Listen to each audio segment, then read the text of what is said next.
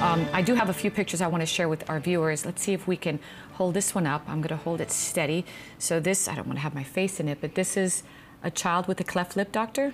That's the whole spectrum cleft lip, the cleft palate, the nose is deformed, the teeth and the upper jaw are certainly out of sync. And then let's look at the difference when you stepped in and performed the surgery. Look at that. That's just astounding. That's fantastic, doctor.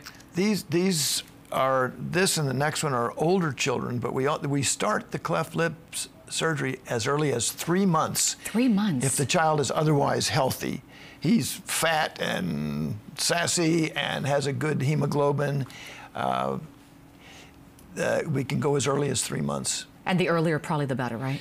The earlier, better, and certainly the parents. The parents don't like having this child with this deformity for so many exactly. reasons. Just the looks, but the inability to nurse and other problems. Let me show one more picture of uh, what I think is a young child. You could see the issue that's going on there, doctor, a cleft lip. That's the same thing. You see the nose is widely deformed. Yes. And now we always work on these noses. All right, so let's show the after you stepped in. Look at that. Oops, let me move this out of the way. There we go.